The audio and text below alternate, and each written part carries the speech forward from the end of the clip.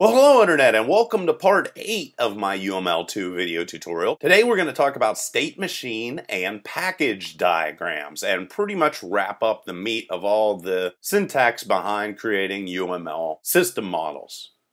Now, state machine diagrams model the changing states of objects and the events that cause these state changes. And a state diagram is going to show many different things as we go through here, but what I got here on the screen is going to show states and transitions. And this whole entire image and everything can be used as a cheat sheet and it's available underneath the video in a link. Now transitions, which is what these guys are, these arrows here, going backwards and forwards, are going to represent how states change. And this is a state has card, and this is another state, no card. And I'm using my common ATM sort of thing to diagram all this stuff. Now the events that occur, like eject card and card entered, are going to trigger state changes. And these events are going to be written across the transition arrows. Now states and transitions are often listed in a table format like you see here, and you're just going to list state and trigger, and then across the top you're going to list your events, and then you're you're going to show how the individual events are going to change the individual states. Just as you can see here, no card. Now, if a card is entered, it is then going to change to the new state, which is going to be has card. So, if you prefer to list them in table form, you can do that. However, that is not quite so common. And state diagrams are normally going to have an initial state, like you can see here, and this is how you would document that, as well as a final state. And you're going to be able to document behaviors that occur whenever you are currently in a state by just listing do with a little slash and then documenting exactly what is going on while your system is in the state called verify funds. It is going to be verifying checking funds in this situation, and this is referred to as a do behavior. Now, transition arrows can be a lot more complicated. Like I said before, they can have descriptions, and these descriptions can be quite verbose, and you can also see here that we can self-call our states just by drawing arrows like we have done in previous UML diagrams. And basically with these transitions that we are going to be documenting here, we're going to first list a trigger, and that trigger is going to be the thing that moves us from the request fund state to the process request state. So that's the very first thing you're going to list. Then you're going to list a guard statement, and the guard is going to be a Boolean condition of some sort or other that either allows or blocks a transition. So you can see here, if the requested funds are less than or equal to the funds available, it's going to then move on to process the request. However, if the request for funds is greater than funds available, it's going to say, nah, we can't do that, and it's going to again ask them to request the funds that they want. And then finally, you're going to have the transitional behavior, and this is going to be the behavior that occurs as you transition to the next state. And things like passing values for processing and so forth are listed in this situation. So what we're doing here is passing the actual requested amount that the user is asking for, and then that is going to be processed over here in this current state, and then you're going to come to your final state right here after the request has been processed. So that's kind of a complicated transitional arrow.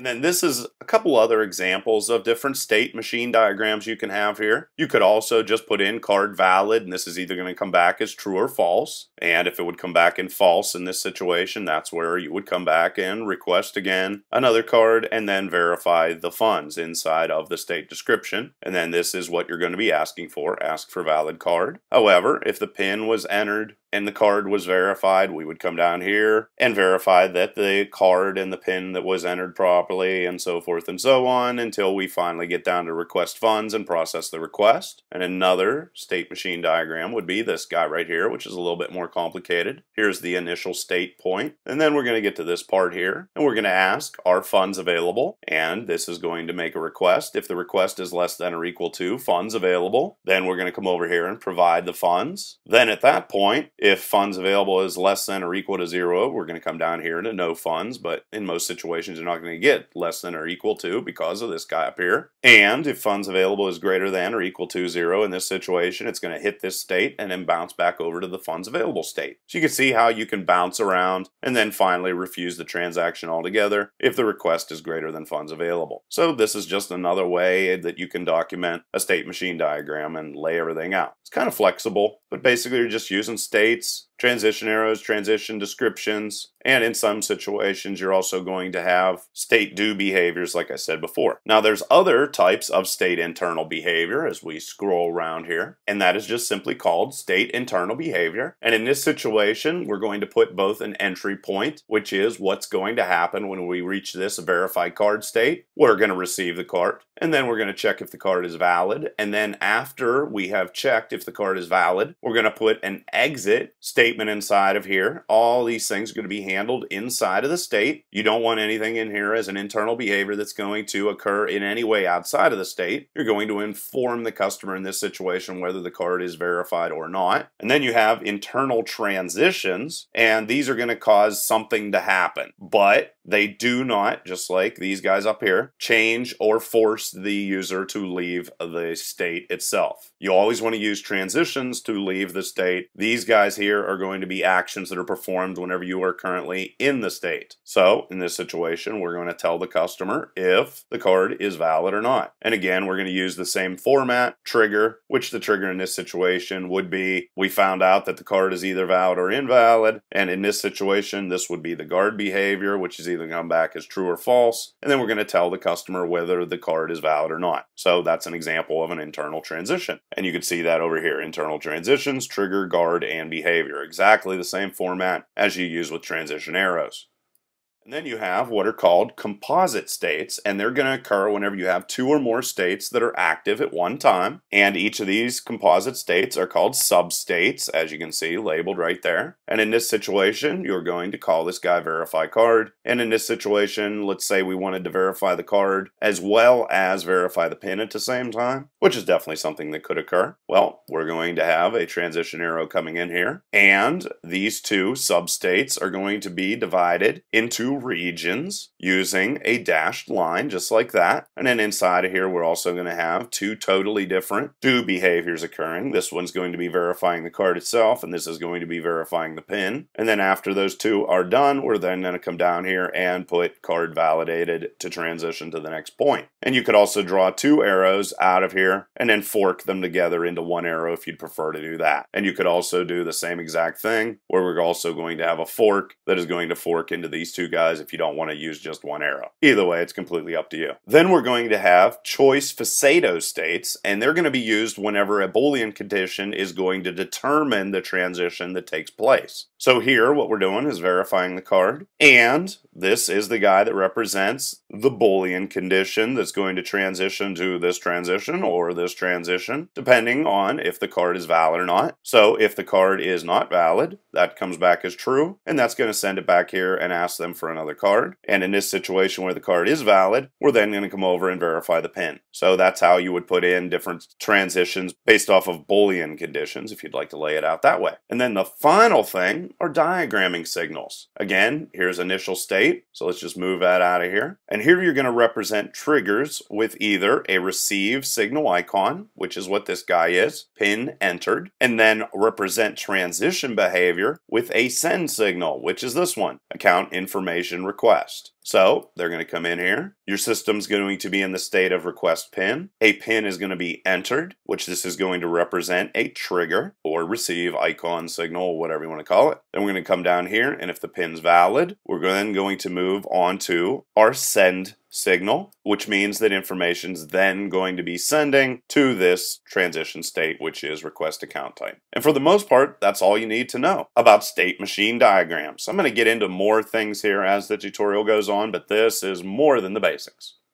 Now we get to package diagrams, and this is extremely simplistic, which is the reason why I tacked it on to the end of this tutorial. Packages are going to group similar classes, and I'm sure if you've been programming, you know that. And package diagrams are used to show dependencies between classes, and the symbol for a package is just going to be a simple folder like this. And you can either put the name of the package inside of the folder, or, as you see here, you can put it on the tab outside of the folder. And the contents of the package can be drawn directly inside of the package. And this would be a class product description that is public, which you can see because of the plus sign. And this is going to be a private class inside of the package, which you can see because there is a negative sign. You could also have these classes listed as external to the package, just by doing exactly what you see here. And of course you could put public or private on there if you wanted to. And if you'd like to document that a package is contained inside of a package, like a catalog package may contain another package called product, that's exactly how you would label that. Now, it is very common to document packages with a name which is called URL in reverse packaging. In this situation, with my website, I would put com, new think tank, and then whatever the package name would be. And this is exactly how you would document that. However, you could also document it in other ways, which is like this, just putting com, two colons, new think tank, two colons, and products inside of there. So there's two different ways to document a URL in reverse package. And then on top of that, you're going to be able to show that a class belongs to a package if you wanted to do that. Exactly like this, just listing the class name and then the package name inside of braces right here. Or you could just put in product, two colons, and product description like we have here. So in this situation, you would put the package name followed by two colons and the class name like that, if that is preferred. It is preferred in this situation that you would actually name all of your classes with first the package name followed by the class name, just in case you end up having packages with exactly the same class name, just to avoid any confusion that might come from that. So let's say if we had a product description in a package other than product, we would easily be able to tell which class we're actually referring to in that situation. And because this comes up a lot, just so you know, classes in the same package are said to be in or part of the same namespace. Now, if you want to show that one package depends on another package,